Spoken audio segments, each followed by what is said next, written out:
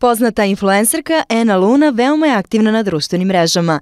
Često sa svojim pratjocima deli modne savete i trikove putem Instagram profila, a oni koji je prate na YouTube kanalu su se zabrinuli zašto i tamo nije toliko aktivna kao nekada, iako broji preko 90.000 pratilaca. Vlogmas me jeste umorio kao i svake godine, ali to nije opravdanje i definitivno publika na YouTube-u zaslužuje da se vratim i oni to stvarno vole. To je jedna specifična grupa ljudi koja prati moje videe uh, koji traju kao neke serije po pola sata 40 minuta, tako da uh, i meni je to predugo, a ne njima. No, falilo im je, e, snimala sam, nisam imala vremena da montiramo, tako da sada kada smo se malo, što kažu, usaglasili sa svim obavezama, vraćam se i na YouTube. S obzirom na to da atraktivna plavuša ima dve čerkice, kako bi reagovala da neko od njih dve krene njenim stopama? Pa ne bih, eh, ne bih mogla sigurno da im zabranim,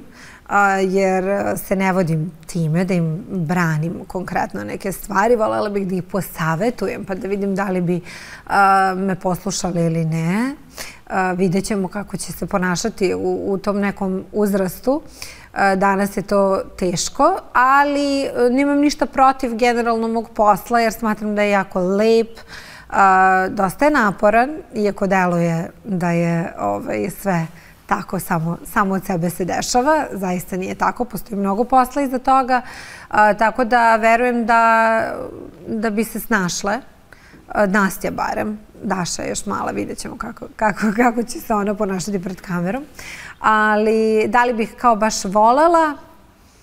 Možda bih voljela da bude zaista već stabilna i zrela osoba prije nego što uđe u ovaj posao. Nepisano pravilo je da su ženska deca više vezana za očeve, a nas je zanimalo da li je takav slučaj i u njenoj porodici, kao i ko je dobar, a ko loš policajac u njihovom domu. Ja sam loš policajac, nažalost, ali prosto tako je.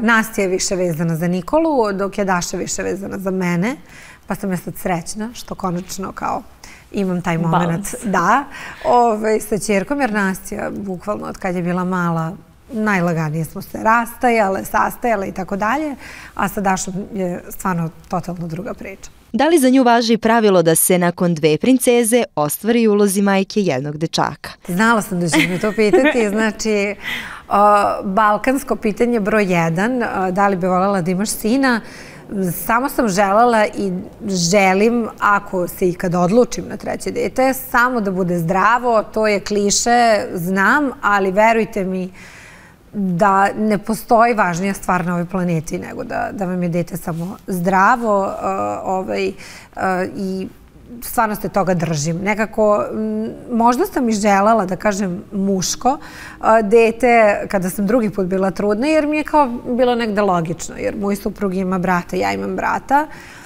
I nekako sam mislila, lakše ću smeti, pod znacima navodnika, da volim ovaj, dete drugog pola, jer kao za mene Nastja bila jedna jedina devojčica na cijeloj planeti.